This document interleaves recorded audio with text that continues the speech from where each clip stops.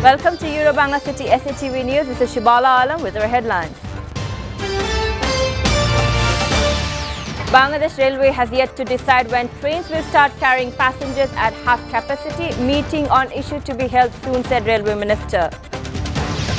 All bodies have been found when missing after trawler capsized in Narayanganj's Dhaleshwari River.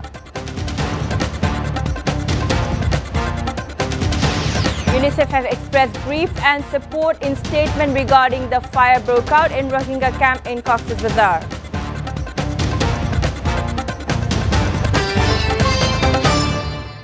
Railway Minister Mohammad Nurul Islam Sujan has said that the Bangladesh Railway has yet to decide when trains will start carrying passengers at half capacity in line with the recently imposed restrictions on public transport. It will not be possible for trains to start operating at 50% capacity from Thursday as tickets for the date have already been sold in advance. The minister said this at an event at Railway Bhavan in Dhaka on Tuesday. Sujan said a meeting will be held on the issue soon. The Cabinet Division on Monday issued a notification with 11-point directive restricting public movement from Thursday. Buses launches, trains must operate at half capacity and driver as well as the assistants must have COVID-19 vaccination certificates.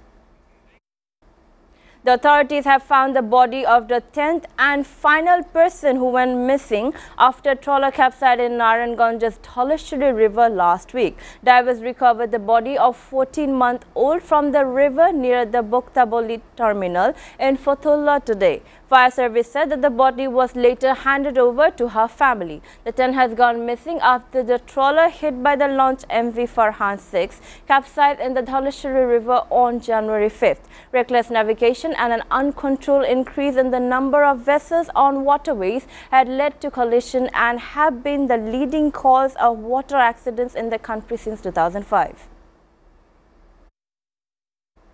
The EU has expressed grief and support in a statement regarding the fire that broke out in the Rohingya camp in Cox's Bazar on January 9. Bangladesh representative of UNICEF, Sheldon Yett said UNICEF is deeply grieved and stands in support of the thousands of Rohingya refugees affected by the fire. The fire that swept across Camp 16 burned down 300 shelters and damaged another 500. The host community near the camp was affected as well. Two UNICEF supported learning centers for Rohingya refugee children and almost 200 wash facilities were damaged. UNICEF and partner organizations have been working on the ground since Sunday evening to ensure the immediate and urgent needs of children and families. This includes food, water, sanitation, clothing and shelter materials for the affected families who have lost their belongings into the fire.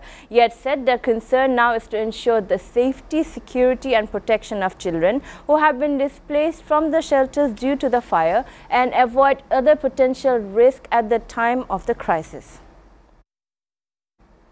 The mass communication of Narayanganj City Corporation election is going on through counter-allegation and debates. Independent mayoral candidate Advocate Taimur Alam Khandaker alleged at a news conference that the Election Commission and the police were constructing their activities. His leaders and activists were arrested without any reason, he adds. Later, he started campaigning in 12 wards of the city. Meanwhile, the Awami League nominated mayoral candidate Selina Hayat Ivy conducted mass mobilization in Mission Para, Chashara and Khanpur areas in ward number 12. She alleged that the rival candidates were spreading propaganda out of jealousy.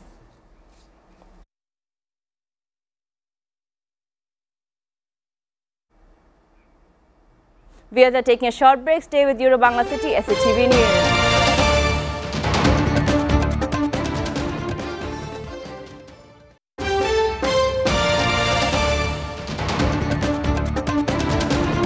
Welcome back. You're watching Eurobangla City SATV News. Now international news. The US and Russia made little progress on Monday, narrowing the differences during their highly anticipated security talks in Geneva. Despite huddling together for nearly eight hours, the two countries remain far from reaching an agreement on each other's security concern. During the talks, which Russian officials described as difficult, long, but very professional, they underscored Russia has no plans to invade Ukraine. Russia's deputy foreign minister also said that despite Moscow highlighting the need to see some flexibility from NATO, the U.S. did not provide such an assurance. U.S. Deputy Secretary of State Wendy Sherman stressed that no one will be allowed to undermine NATO's open door policy, adding Washington will not forego bilateral cooperation with countries that want to work with the U.S. Both sides remain pessimistic on our expectations for a diplomatic breakthrough. The U.S. said it was eight hours of discussion rather than a negotiations. After the worst violence in independent Kazakhstan 30-year history, the situation across the country continues to be calm. The country's National Security Committee said Monday that extremist groups had been in hand in nationwide riots, adding it continues its search and will arrest those who joined the riots and carried out acts of terrorism. The Kazakh government says nearly 8,000 people have been arrested so far. Over 160 people were killed in the violence.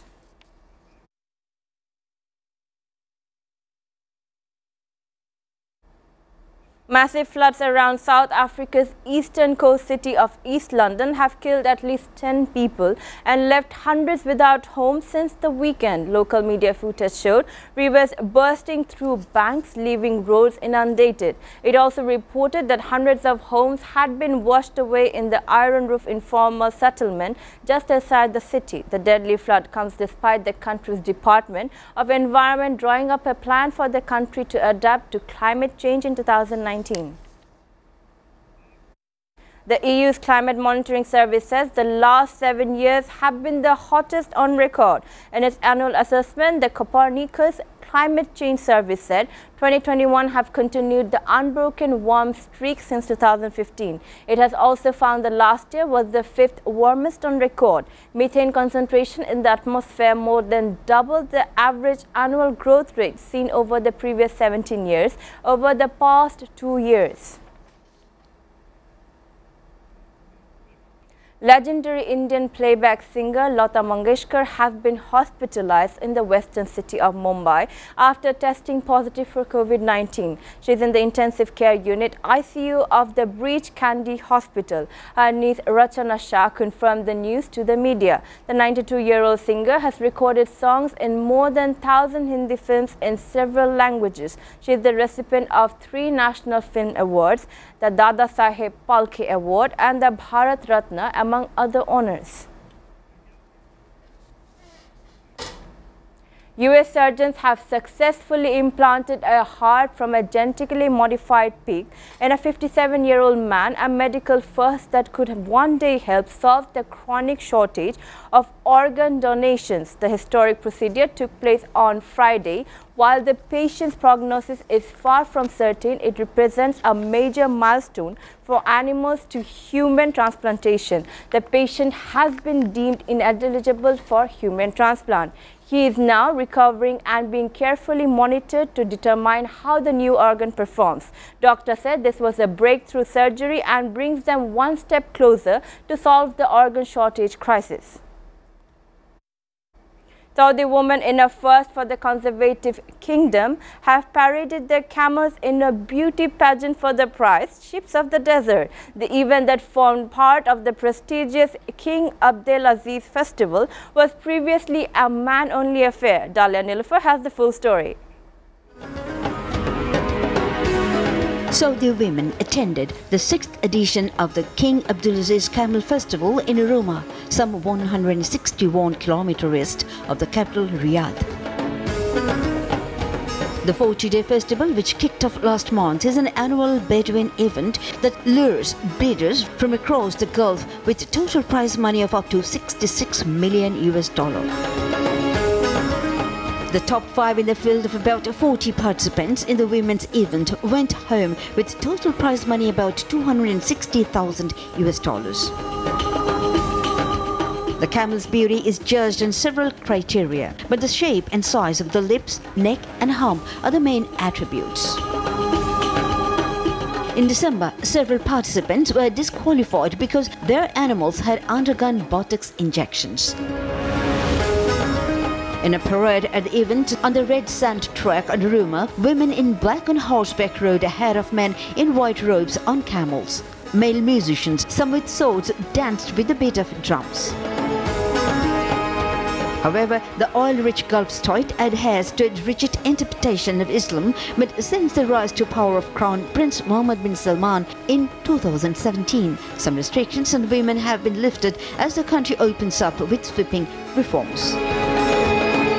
Dalia Nilfer, SATV News Desk.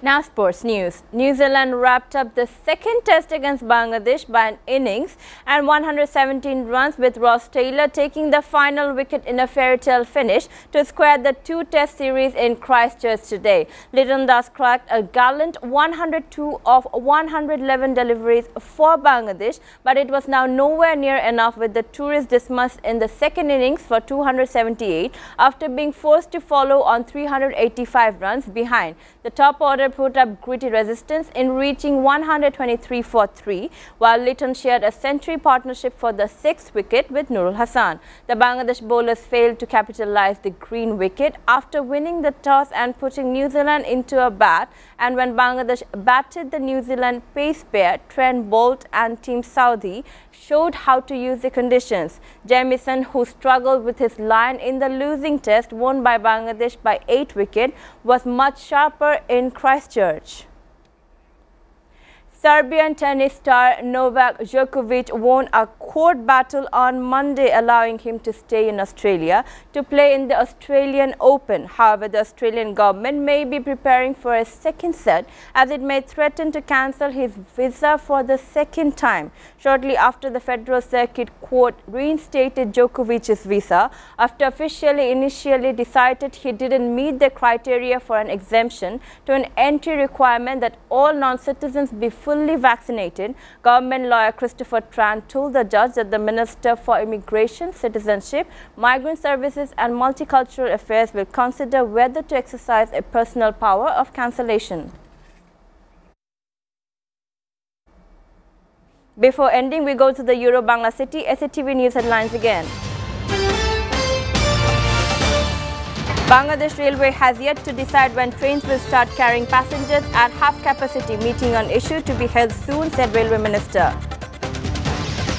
All bodies have been found went missing after a trawler capsized in Narayanganj Dhaleshwari River. UNICEF has expressed grief and support in a statement regarding the fire broke out in Rohingya camp in Cox's Bazar.